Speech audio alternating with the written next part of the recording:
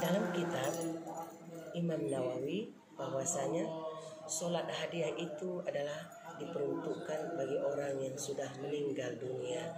Bagi orang tua kita yang sudah meninggal dunia, apakah itu baru meninggal, apakah itu sudah setahun, sepuluh tahun, bahkan dua puluh tahun. Orang yang meninggal itu siang malam, siang malam, ia meminta ia menjerit, ia bermohon kepada orang yang hidup, kepada keluarganya, agar ia diberikan makanan, hidangan, dan kiriman-kiriman doa. Maka mari kita jamaah yang masih hidup keluarga, mari kita doakan keluarga kita dengan sholat hadiah. Sholat hadiah dengan berniat, usolli sunnat al hadiyata rokataini lillahi ta'ala. Sengaja aku sholat hadiah dua rakaat karena Allah Ta'ala. Iya, usolli. Bolehkah dengan memberikan namanya? Boleh. Usolli sunnatal hadiyata Haji Ali Amran bin Banu Kasim, Hajjah Rafi'ah binti Ma'ruf, Haji Ajam Hasibuan bin Abdul Wahab Hasibuan, Zuhrah Hasibuan binti Ajam Hasibuan, Banu Kasim bin Jidun Rok'ataini lillahi ta'ala Allahu Akbar. Bacaan rokaan yang pertama Al-Fatihah.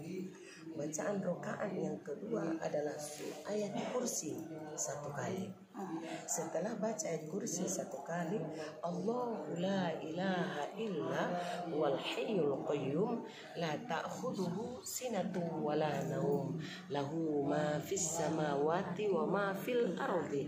Man jalladhi yasfa'u indahu illa bi idzni ya'lamu ma baina aydihim وما خلفه ولا يحيطون بشيء من علمه إلا بما شاء.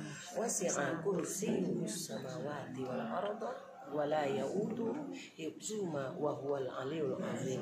لالو تسمو لغي سوره التكاثر بسم الله الرحمن الرحيم ألهاكم التكاثر حتى زرتم المقابر كلا سوف تعلمون ثم كلا سوف تعلمون كلا لو تعلمون علم اليقين لترون الجحيم ثم لترون عين اليقين ثم لتسألن يومئذ عن النعيم. Baru disambung eh, eh, eh, al-ikhlas. 11 kali bismillahirrahmanirrahim.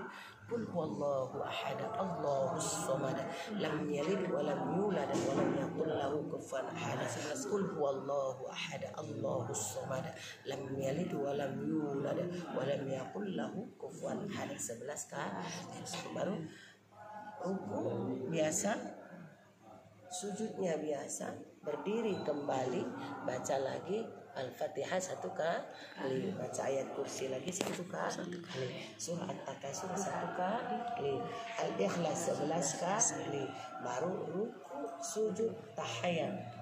Sampai innaka hamidum majid. Assalamualaikum warahmatullahi Assalamualaikum warahmatullahi Bagaimana pahalanya? Ya Bu, pahalanya orang yang kita solatkan keluarga ayah ibu kita akan diberikan Allah tempatnya di surga.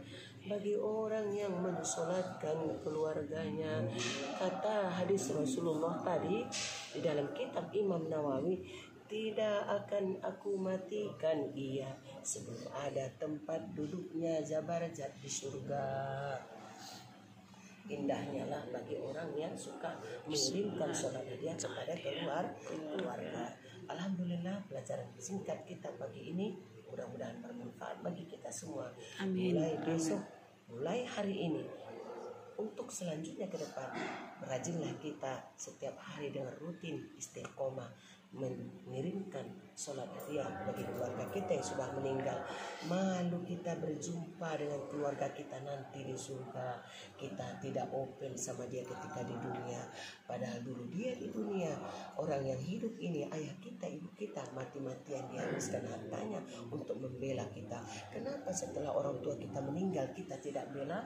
Maka jangan sampai kita durhaka. Durhaka. Usikum nafsu bitaqwallah. Assalamualaikum warahmatullahi wabarakatuh. Waalaikumsalam warahmatullahi Allahumma salli